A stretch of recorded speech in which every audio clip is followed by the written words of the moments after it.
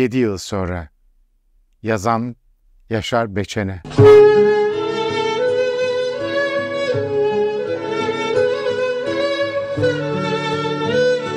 Fırtına öncesi sessizliği biraz erken fark etmekti belki de benimkisi. Aklı ve bedeni sorular harmanına esir etmeden, hiç düşünmeden başını alıp çekip gitmek. Bir derviş gibi olmasa da sevdiğin kim ve ne varsa bir anda vazgeçmek ve terk etmek her şeyi. Anladım ki bazen cahil cesareti de gerekiyormuş insana. Elbette alın yazısı olma ihtimali de yok değil hani. Yoksa hesap kitap yapmadan nasıl düşer insan belirsiz yollara?'' Aslında kısa süreli bir ayrılık olma beklentisine olan inanç idi belki de bu cesaretin kaynağı. Ömründe daima beklenti girdabına düşmekten çekinen korkan birisi için son bir umuttu belki de bu gidiş. Zira elde daima hüzün olsa da umut daima yaşamalı, yaşatılmalıydı mutlaka.'' Önümde yaşanılan zorlu bir zaman dilimi vardı ve bir de benden çok uzakta arayışlarım. Ortalığın toz duman olduğu sisli puslu zamanlarda kişisel tercihler, gayretler ne kadar da önemli oluyor değil mi? Belki de bu sebeple insan gözünü karartırsa her şey yapabiliyor. Zamanın geçiciliğine inanan ruhum, bedenim bir anda bulu veriyor kendini yaban diyarlarda. Artık takvim yaprakları duvarlarda asılı değil. Aklında, fikrinde, hatta yüreğinin daima tam ortasında dökülüp duruyor pervasızca. Günler, aylar ve yıllar nasıl da su gibi akıp geçip gidiyor öylece. Ve yalnızca sanal dünyalarda görüşme fırsatları bulabiliyoruz sevdiklerimizle. Dünya hali işte. Var ve yok arası ince bir çizgi gibi. Şimdilerde bir kara duman olmuş hasret her birimiz için. Sevdiklerimizin tamamı nasibini almış bundan ve hala da alıyor.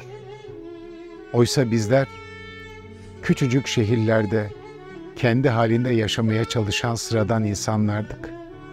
Şimdi nasıl da dünyanın dört bir yanına savrulmuş, kaybolmuş aileler haline geldik bir anda. İnsanın öz vatanı yedi kat yabancı haline gelince doğal olarak ellerin vatanı da bizlere daimi bir yurt haline geliverdi. 40 yıl düşünsek aklımıza gelmeyecek ne kadar şey varsa bir bir geldi başımıza. İnsan çoğu zaman düşünmeden edemiyor. Neydik, ne yaşadık, ne olduk ve şimdi ne olmaktayız. Sorular girift birer bilmece yumağı gibi eksilmiyor, gün be gün daha da çoğalıyor. Hasret, hüzün, acı, keder, ıstırap ve çokça gözyaşı yüklü yedi koca yılı çoktan devirdik. Sevdiklerimizle yeniden bir araya gelme hayallerimiz belli belirsiz bir gelecekte asılı duruyor. Hal böyleyken insanı yine de doyduğu değil, doğduğu toprak çekiyor sebepsiz. Biliyorum, Yaşadığımız yerler cennetten adeta birer parça gibi. Lakin gözlerimiz geride bıraktığı serin akşamları, ait olduğu yerlerdeki göğün mavisinin özlemini hissediyor en derinden.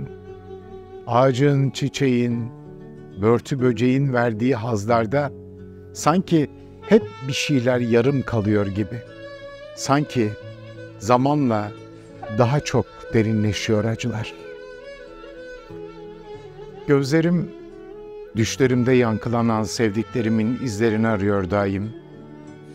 Gurbet ellerde itik yuvaların hikayeleri daha bir derinden kanatıyor sarmaya çalıştığımız yaralarımızı. Nazım Hikmet'in dediği gibi Bu uzun ayrılık zamanları bir demir parmaklığın ardından sevdiklerimize uzanmak gibi imkansız. Her gün bir adım daha yaklaşmak isteriz ama sanki yıllar önce çizilen sınırlar varoluşumuza gömülmüş yitik bir hazine gibi. Çoğumuz çoktan kendi köklerimizden koparıldık. Parçalanmış ailelerin acıları yüreklerimizi dağlayan hüzünlü bir melodi gibi.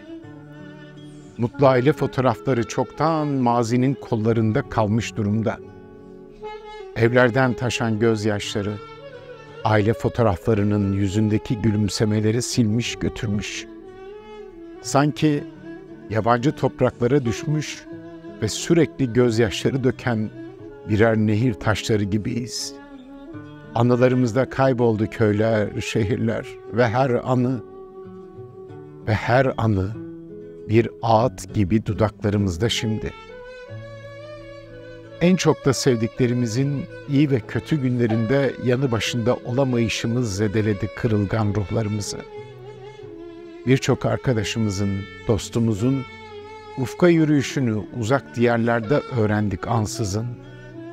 Bir tek dualarımızla teselli buldu kabz halinde ruhlarımız.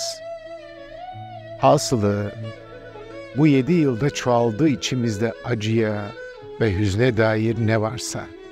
Yine de bu yolculuk bir gün mutlaka mutlu bir dönüşle tamamlanacak.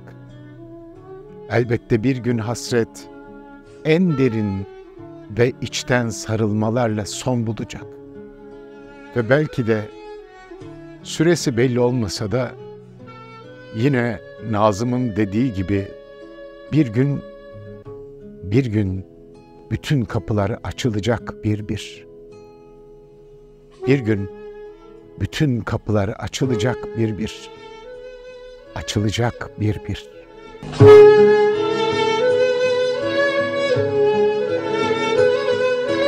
Müzik